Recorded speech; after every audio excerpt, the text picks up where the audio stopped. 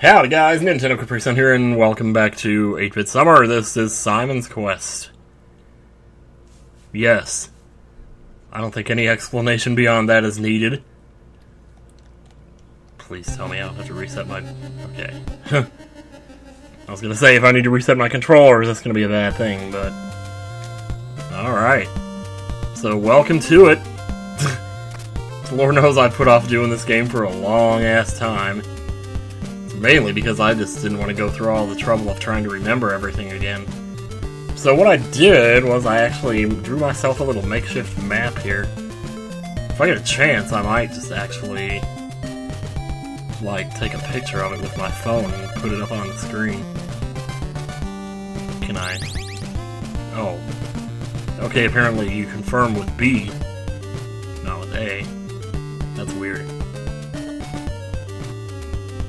This is actually one of my favorite town themes in any game ever.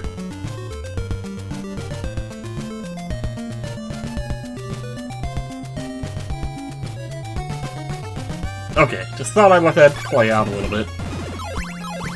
Oh man, so, um, fair warning, the first part of this LP is probably gonna stay Link.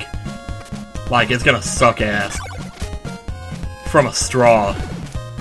Because a lot of the um, a lot of the early stages of this game is just you grinding because there's stuff you need to pick up, but that stuff costs hearts, and hearts are your currency in this game. As in previous Castlevania games, they also serve as ammunition for certain weapons, but well, you know, it's but you don't actually. I mean, not all weapons cost hearts. My okay, alright, um... But yeah, so... Oh, look at that, jeez. Can't even wait to get started here, man. Good lord. Right in the middle of the whip animation and everything. Okay, so when it gets to nighttime, enemies all have double HP. Which means it takes twice as long to kill them, naturally. And your best time to actually, or one of the best ways to grind hearts in the game, is just come right up here into town and kill the zombies because they drop the medium hearts, which are worth four. And you can just kind of, well, I'm not sure if there's one that comes from the left. I guess not. see, where's that spawn point at? If I can figure out where he spawns, I can get him a lot faster than normal, but Okay, right there. Guess that's about right, wherever that crack is. So this is basically what you do, you just boom boom. It's not getting very good heart drops here so far. It's pretty much random whether or not the enemies are going to drop hearts, but if they do, it's a good thing. So I'm just going to do, this is what I'm going to do for the first part of this. Well, I mean, we might get more done than just that, because this doesn't take that long. I mean, day and night, it's like three minutes. I was thinking I might try to go for the best ending in this game, but... Um, well, there, that's a whole nother story. I think to get the best ending, you have to beat the game in seven days or less. And you saw how fast night came there, and it's the morning's gonna be here before we know it. So, like... The thing is, time doesn't pass when you're in the mansions and that's where you're going to be spending a lot of time, so hopefully. So this is like really boring, isn't it? Wish I could find a way to make this more exciting. Well, I could sing. Wait, what? Okay, my game froze for a second there. I'm not sure why I did that. For a second I thought it was mooring time, but I guess not. Did I mention we're doing this in front of a church? Quite frightening. Almost as frightening as what happens inside. Oh, I'm just kidding. Just kidding. Totally kidding there.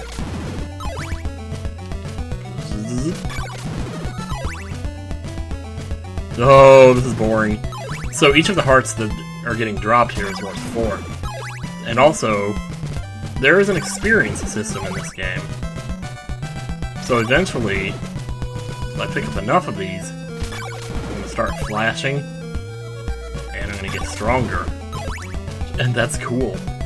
Because that's why we gain experience in games, is to get stronger. So that's kind of how it works. There's three different kind of hearts you can get. Small ones are worth two hearts and one experience. So the medium ones, which I'm picking up now, are worth four hearts and three experience. And the full ones, which are worth six hearts and five experience. So, I believe I will do that, yes. I could get the Thorn Whip, but it's not really worth the hassle. I think I'm just gonna head on out and see if we can't get to that first dungeon. So if you look here, you can see my experience is 96. But the thing about the experience is that sometimes, just out of the blue, you'll stop gaining experience. You'll, you'll, you'll continue to get the hearts, but they'll stop giving you experience. It's like, why is that? For the longest time as a kid, I didn't understand that, why it did that. Eventually I figured out that, like, if you want to keep gaining experience, you have to actually progress in the game. The Whether or not you get experience depends on what area you're in. So if you're not gaining experience, you need to progress to later in the game, to a later area, and then you'll start gaining experience again up to level 6, which is the max, of course. Sometimes when I play this game when I was younger, I would like... I would go straight for the Morning Star as quickly as I could. And some, I don't know, I was tempted to try that this time, but the monsters on that first screen to the left are just like ridiculous. I'm actually gonna take a little shortcut here. How many hearts do we have? 106, that's not enough. So we'll do the mansion first. So I go and get a chain whip if I went downstairs, but it's 150 hearts for that. And I don't exactly have 150 hearts. Ooh, you almost killed me. Should knock me right in the water there. Get every heart I can here. And here's our first dungeon. Recognize this? there was a screen on Castle in the Darkness that looked kind of like that. So there's actually an invisible platform here, but you have to be holding the white crystal to actually see it. You can jump on it without the white crystal, but... Oof, okay. Yeah, when I was at Name That Tune at MagFest, um, they played this music, and of course they asked what game is it from, and I said Castlevania 3 like a dumbass. What in the world I was thinking there. So your basically your main objective in each mansion is just to get to the end of it, but also, jeez, what the hell that was. I don't remember where all the invisible floors are either, so. Ugh. Good lord. Is that a big heart? I think he just dropped a big heart. Didn't know you could get those this early in the game, huh? Ooh, please don't play. It's like they just didn't want to put any effort into.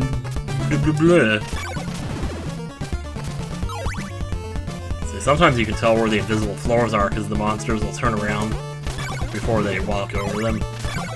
So there is that, but yeah. I'm pretty sure these two blocks right here are invisible. Yeah, they are.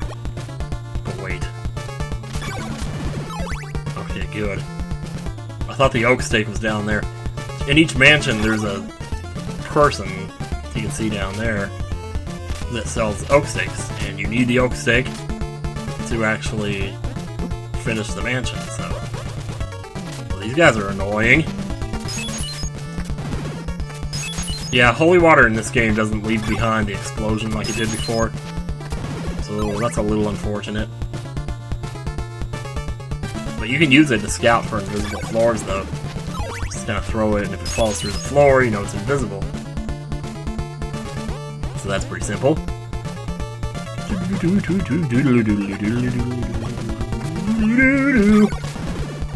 Hmm.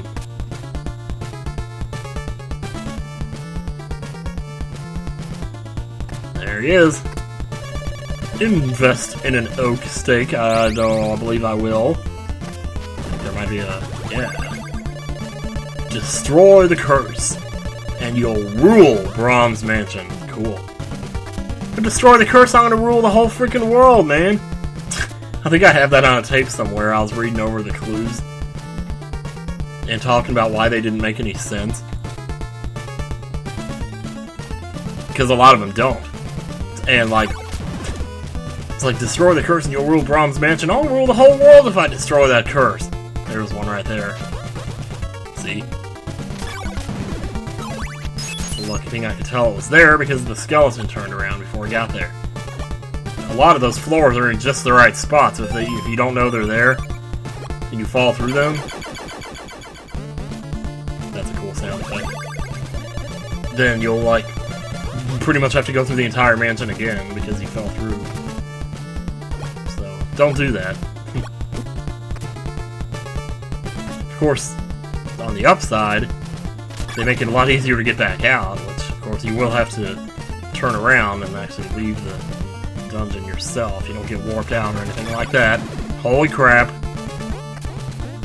Please don't let any of these floors be invisible. Me and my puny-ass penis whip. What is the last Castlevania game I've actually done? Well, besides. Oh, please. Please, please, please! I died. I did. I died. I think this is invisible. Okay, maybe it's not. Well, two times in a row, man! Why can't I... Oh. Yeah, I...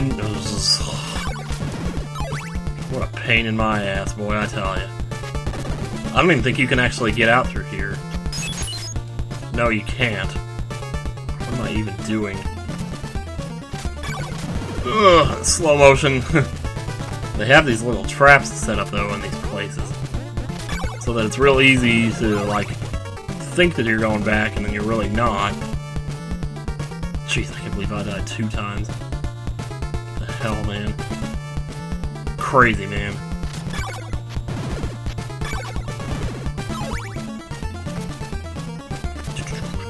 Yeah, see, even if you're not holding the crystal... Oh, I was holding the crystal. Never mind.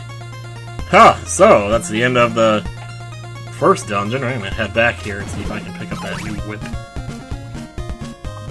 I don't usually get the chain whip in this game. Usually I go straight for the Morning Star. But, you know, because the chain whip is, like, still short. And I'm more interested, I mean, don't get me wrong, I love a whip that does a lot of damage, but the length matters too the chain whip is actually still really short.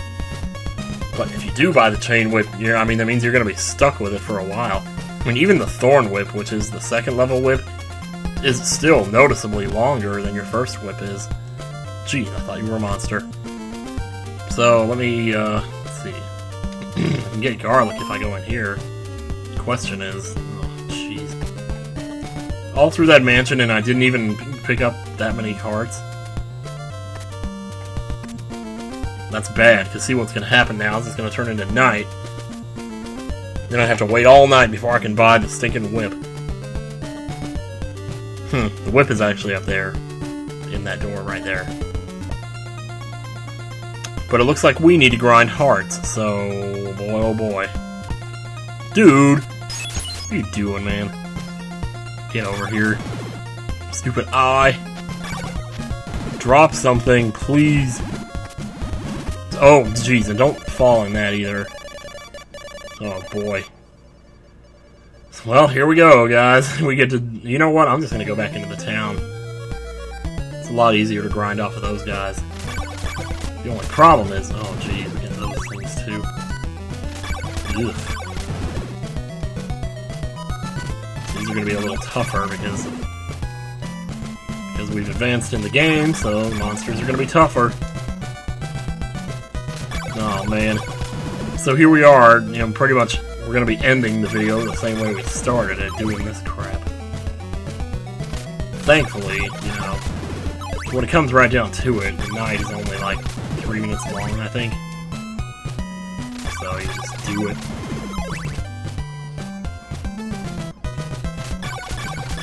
Seems like there were seems like there were two zombies spawned. There are. If I back up far enough, I can get two of them. Yes. This may just be the best grinding spot in the game right here. Shoot. I mean, if you have a, better whip, this would definitely be better. No, there is actually a spot that's better, but... Oh, jeez. Now, some towns don't actually have churches in them. So, and I think this might be one of them. I'm not sure. Good. Good. So, but then, since I didn't mention it, you actually go inside the church, you get healed. So, well, you have to talk to the person, but still, you get healed. So, it's always, it's always a good idea to do that, but just, just be wary that not every town has a church in it, so. But good lord, they're just coming out, coming out the ass, man!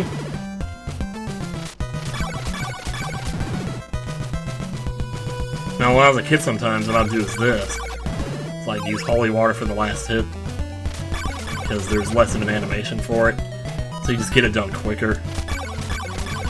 But uh, you know, it's so boring. Oh my god, this is gonna be the most boring video in the world, man. Wish I could think of something to say, man. Boom. I'm killing zombies. What do you know?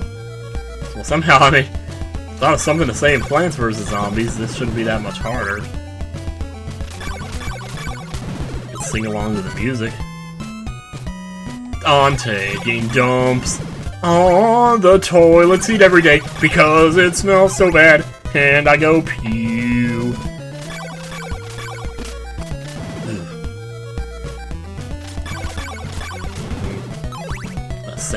Coming through my speakers.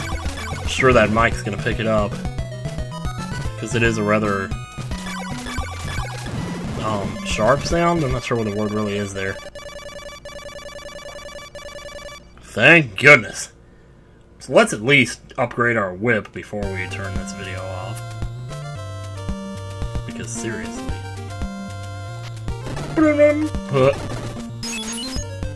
Sometimes you'll have to do that. I know a lot of people say, like, how in the world would you know to do that? But it's like, when you're just sitting here and you don't have the 20 minute time limit, you're just messing around it's like, it's not really that hard to, you know, just to kind of deduce, you know, that, well, maybe this is what I'm supposed to do. And the thing is, even if you don't do it, it doesn't, you know, well, I mean, it's not required, so it's like, you know, see, I need to get the blue crystal. Well, I could just keep going ahead. Yeah, we'll do that. So that'll make all this a little bit easier. Okay, maybe that is a little longer than my other whip. Definitely does more damage. Each whip progressively, like, does twice the damage of the one before it. Except for the Flame Whip, which always bothered me. As a kid, I don't remember where I read it, but, um, I read it.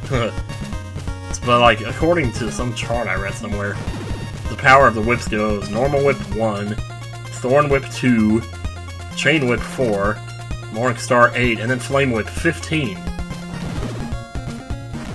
And so, like, there will be certain monsters in the game that would still take two hits even after you upgraded to the Flame Whip, and that always bothered me. Okay, seriously, one of these. Here we go.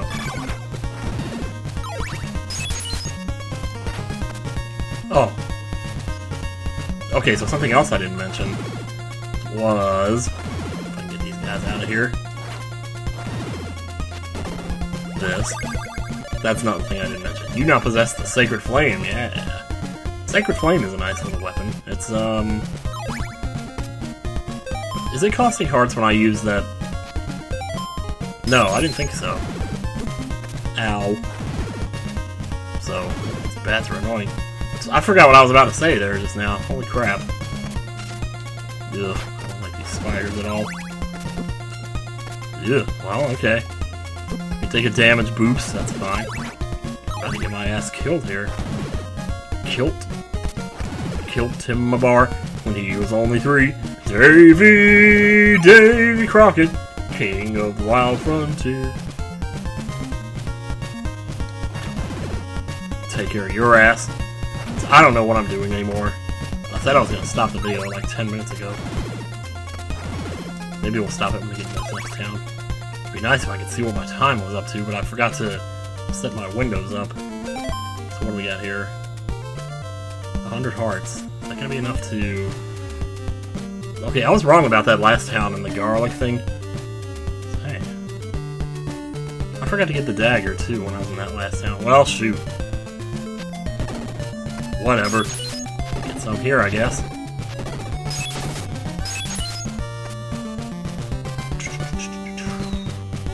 I don't know if I would sleep here. This is not really that peaceful of a place. Will you buy some garlic? Yes, I will. There's like three different levels of daggers you can get to, and one of them was in that town I was just in. The town where I bought the chain whip. To get it. And it doesn't matter because I probably never would have used it. There's nothing in there. Except for some dude. Probably. See, people talk to you, but they never, uh, you never know what they're gonna say. Yeah, buy some garlic, whatever. You can't tell me what to do. There is actually one thing specifically in this town that I want to get. And of course, if you played the game, you know what I'm talking about, but since you probably haven't, then why am I even saying that? I don't know. Uh, laurels? That's what I could get if I went in that door, though. I suppose I could get them. What else am I going to spend my money on at this point? I don't know if I'm going for like a 100% run here or anything. Please don't turn to night before I get here. You motherfucker! See you guys next time. I'm gonna grind.